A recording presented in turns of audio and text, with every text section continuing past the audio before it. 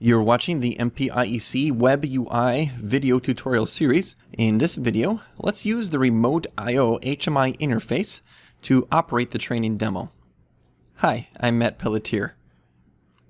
Here's a quick preview.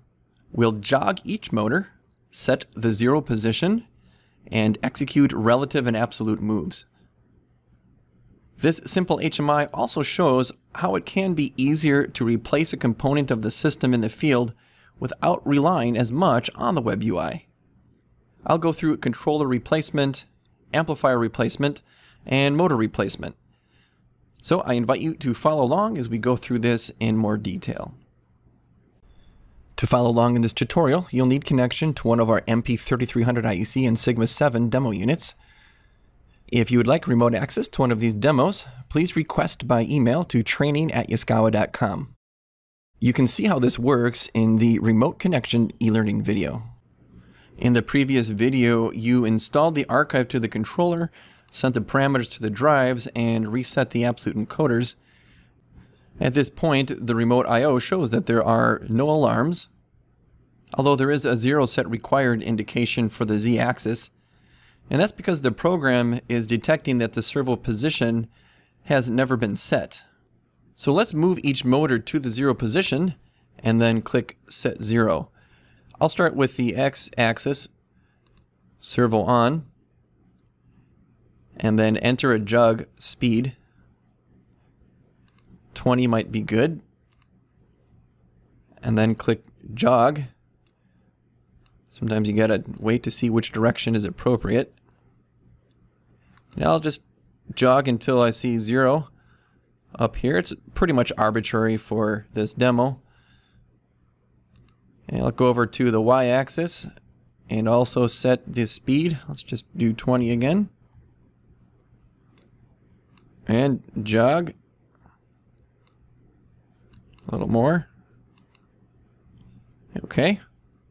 And now we'll go to the z-axis. I'll turn the servo on for the z-axis. Set the speed and jog.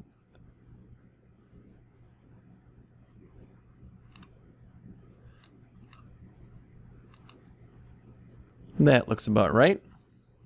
And you can see down below the actual position feedback is not zero, but if we go through and click the set zero button, it sets the actual position to zero for each of the axes.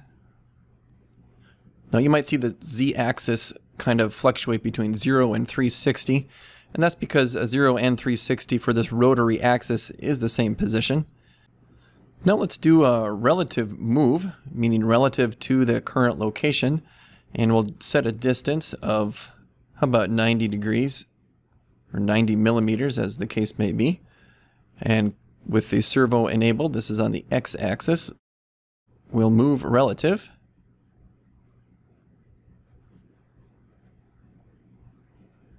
And it moves to 90 degrees. On the y-axis, I could move to, how about negative 180? And I'll go a little faster on this one. How about 100? And hit move relative. And it went backwards to position 180. And finally for the z-axis, I'll put in a negative 90 for this one too. Negative 90. Enter. And hit move relative. Let's speed that up a little bit here. How about 100? I'll do that again here, move relative. So I can keep clicking this move relative and it will just keep moving relative to its current position. Now compare that to move absolute. We can put in the absolute position. Could tell it to go back to zero, which is the data that's already in here, and tell it to move to position zero. I think I'll do that for each of these axes. Have them move back to zero. Back to zero, and back to zero. The over travel inputs pot and not are wired to the z-axis, And disconnecting one of these inputs is indicated by P or N on the display. And it prevents the motor from moving in the indicated direction. Here I've got not disconnected, so I can jog positive but not negative. And the opposite is true if I disconnect pot, leave not connected. I can now not jog positive and I can jog negative. And of course, if they're both disconnected, then it says P and N, and you won't be able to jog any direction. These inputs are usually implemented as proximity sensors at the end of the mechanism to prevent the load from moving too far. Of course, here the load is just a wheel and it really can't move too far. So just keep both of these connected unless you want to test what happens when the motor hits one of them. And be aware of what P or N on the display of any of these amplifiers means and realize that it's not an alarm. It's just an input that stops the motor in one direction or the other.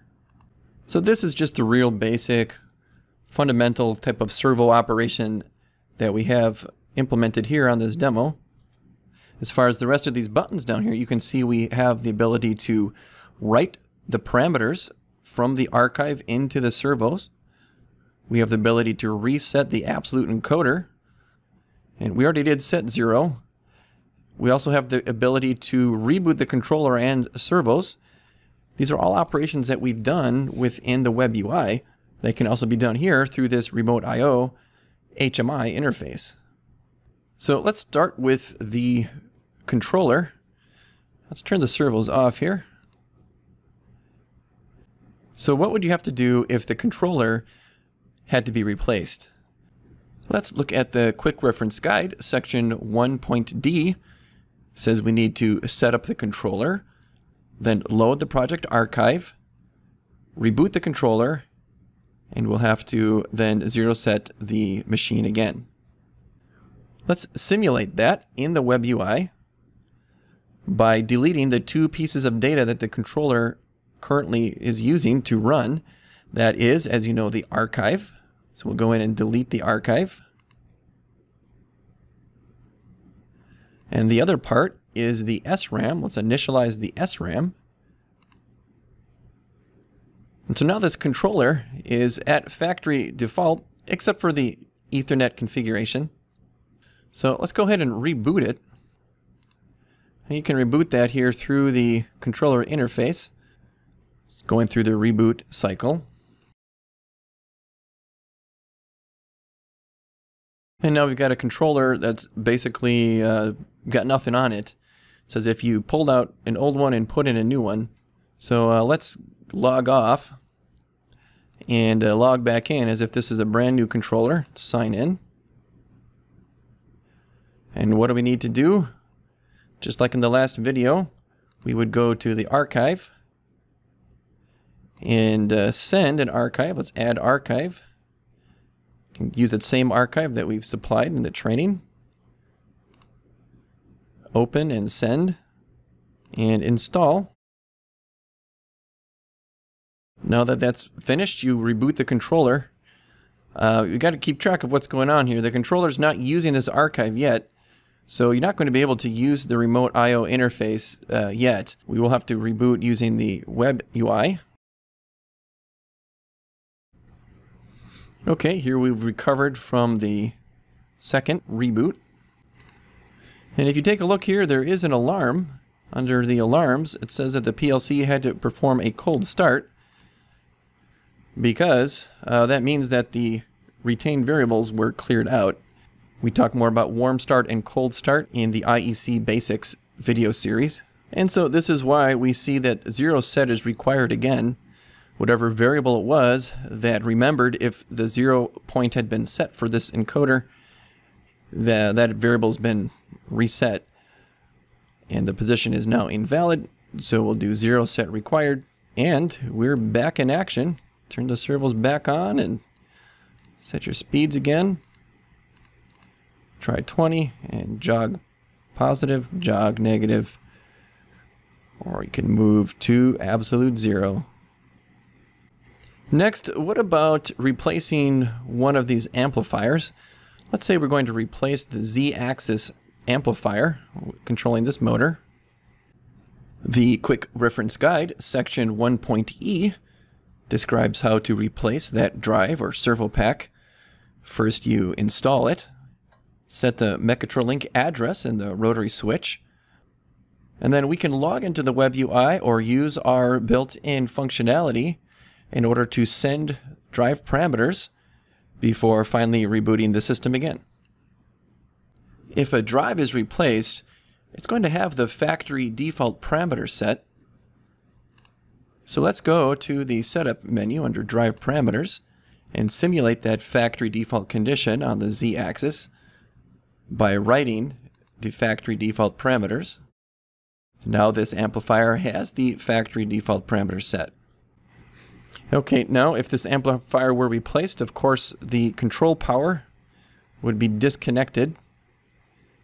And let's reconnect the control power. Now you see we have an alarm. It's an alarm because this drive does not have the correct parameters. It's been reset to factory default. As an aside, when you do replace an amplifier, you want to check the Mechatrolink node address, which is under this cover. First, we'll reboot the system so that we can reconnect these drives to the controller. You can see that they're complaining about being disconnected when I turned the control power off. So we're connected again and reading in this alarm, ACC0. You may remember ACC0 is an absolute encoder related alarm, but in this case, it's because we don't have the correct parameters set in the amplifier. Let's write the parameters to that amplifier. And you guessed it, reboot again.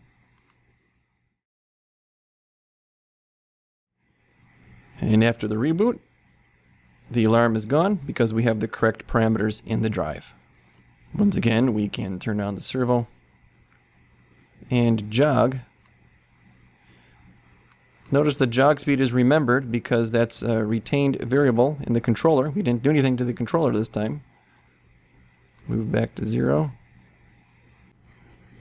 And now the last simulation is the motor replacement. Think about it for a minute. If you replace a motor, you've got to remove the cables from the encoder and you're putting on a new motor.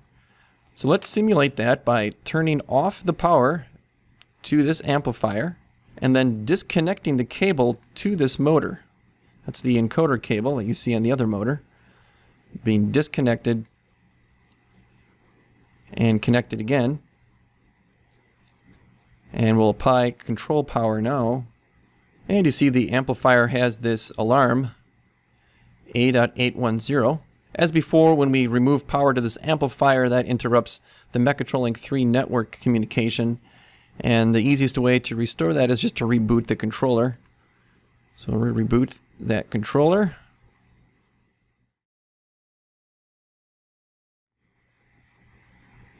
And now the controller is back online with the drives, and it's reading that alarm, A.810.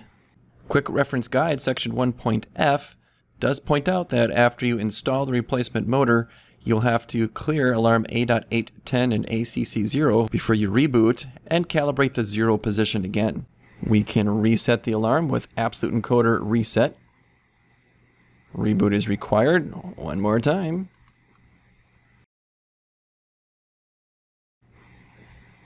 And this controller knows, after the reboot now, that there is no alarm, but it also knows that anytime you reset the absolute encoder, the absolute position is no longer valid and a zero set is required. So as before, you would move the motor to the zero point and uh, because it's not at zero and click zero set required.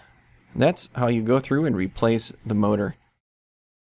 You can see there's a lot of controller reboots involved when you are replacing any of the components and of course write the parameters if you ever replace the amplifier and reset the absolute encoder if you ever replace the motor. I now invite you to play around with this demo as much as you want. Simulate the replacement of each component and go through the recovery process using the web UI or the remote I.O. until you're confident. In the certification test, we'll ask you to load an archive just like this and use the functions of this interface. Beyond the web UI, I'm guessing some of you would be curious to see the source code for this demo project. The project is included in the class materials download, and you can open it with MotionWorks IEC version 3, as I've done here. Here I have the maintenance POU with worksheets for write PN, absolute encoder reset, and reboot. You can see them in debug mode, and it's even possible to monitor the code as it operates with the remote I.O. interface. For example, I'll do an absolute encoder reset, and it turned that one red. If this is new to you, please see our self-guided training courses called IEC Basics and PLC Open Basics, which will teach you how to use this software. Thank you for watching this video, and remember yaskawa.com slash IEC for more information on the MPIEC product line.